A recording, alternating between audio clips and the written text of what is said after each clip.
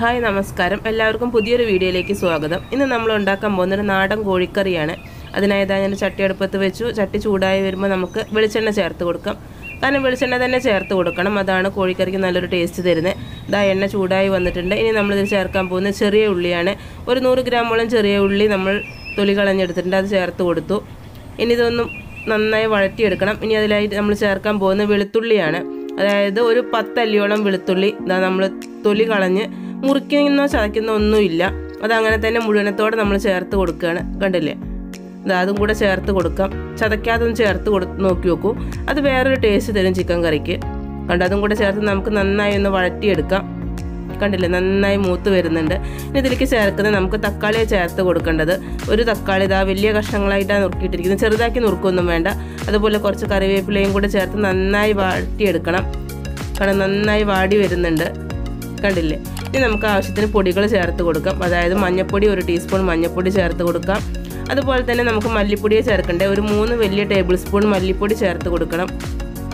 കണ്ടില്ല മല്ലിപ്പൊടി എപ്പോഴും കുറച്ച് മുന്നിട്ട് നിൽക്കണം. അതാണ് ചിക്കൻ കറിക്ക് നല്ല ടേസ്റ്റ് തരുന്നത് മല്ലിപ്പൊടി ചേർത്ത് കൊടുത്തു. ഇനി നമുക്ക് മുളക് പൊടിയാണ്. അതുപോലെ തന്നെ ഒരു വലിയ രണ്ട് ടേബിൾ സ്പൂൺ മുളക് പൊടി ചേർത്ത് കൊടുക്കാം.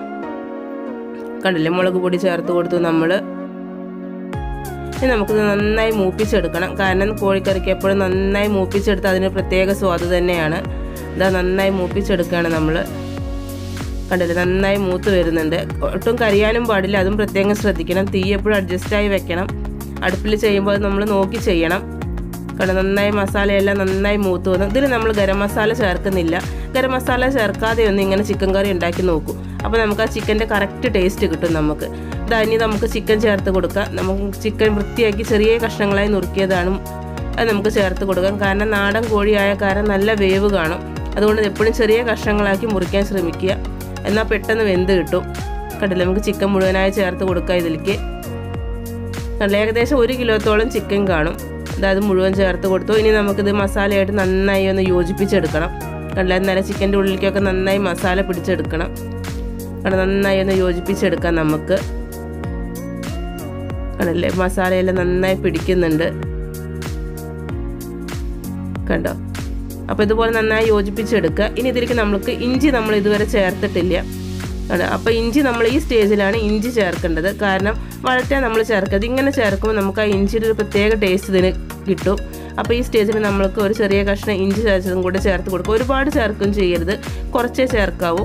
അപ്പോൾ ഇഞ്ചി ചേർത്ത് കൊടുക്കുക. അതോടൊപ്പം ആവശ്യത്തിന് ഉപ്പും കൂടെ നമുക്ക് ചേർത്ത് കൊടുക്കാം. കണ്ട ഉപ്പ് ചേർത്ത് കൊടുത്തു.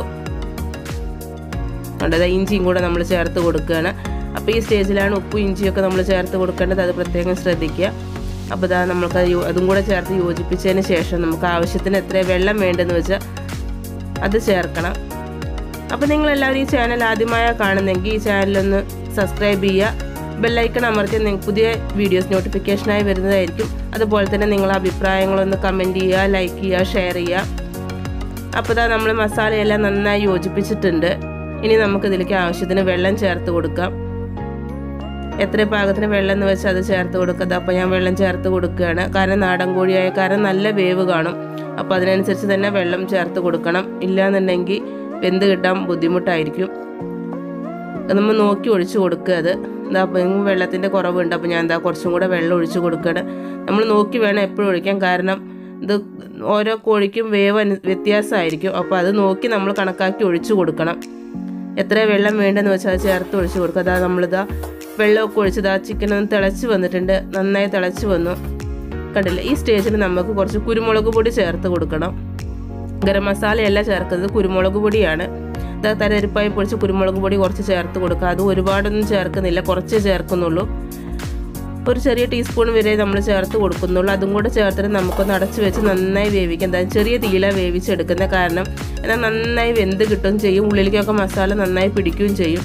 ഇപ്പോൾ ആ ചിക്കനെല്ലാം നന്നായി വെന്ത് വന്നിട്ടുണ്ട്. കണ്ടോ? നമ്മൾ നന്നായി വെന്ത് ചാറെല്ലാം കുറുകി നല്ല പാകത്തിനായി വന്നിട്ടുണ്ട്. കാരണം ചാറ് കാണുമ്പോൾ തന്നെ അറിയില്ല? കറക്റ്റ് കട്ടിയായി വന്നിട്ടുണ്ട്.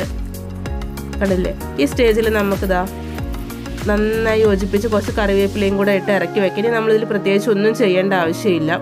നല്ല ഫ്രഷ് കുറച്ച് കറിവേപ്പിലയും കൂടെ ചേർത്ത് നമുക്കിത് ഒന്ന് യോജിപ്പിച്ച് വാങ്ങി വെക്കാം. അപ്പോൾ നല്ല ടേസ്റ്റി ആയ ഒരു ചിക്കൻ കറിയാണ്. എല്ലാവരും തീർച്ചയായും ചെയ്ത് നോക്കണം. കാരണം എല്ലാത്തിന്റെയും കൂടെ യോജിച്ചു പോവും. ചോറിന്റെ കൂടെ എല്ലാം നല്ല ടേസ്റ്റി ഒരു ചിക്കൻ കറിയാണ്. അപ്പോൾ നമുക്കൊന്ന് സെർവ് ചെയ്യാം. നല്ലൊരു പാത്രത്തേക്ക് സെർവ് ചെയ്ത് കൊടുക്കുകയാണ്. കണ്ടില്ലേ? നല്ല അടിപൊളിയായിട്ട് വന്നിട്ടുണ്ട്. കണ്ടത് കാണുമ്പോൾ തന്നെ നമുക്ക് കഴിക്കാൻ തോന്നുമല്ലേ അപ്പോൾ എല്ലാവർക്കും ഈ വീഡിയോ ഇഷ്ടപ്പെട്ടെന്ന് വിചാരിക്കുന്നു. കണ്ടത് നല്ല അടിപൊളി ഒരു ചിക്കൻ കറിയാണ്. അപ്പോൾ എല്ലാവരും ഈ വീഡിയോ കണ്ട് ഇഷ്ടപ്പെട്ടാൽ ലൈക്ക് ചെയ്യാനും ഷെയർ ചെയ്യാനും മറക്കരുത്. അപ്പോൾ അടുത്തൊരു വീഡിയോ ആയി കാണുന്നവരെ ബൈ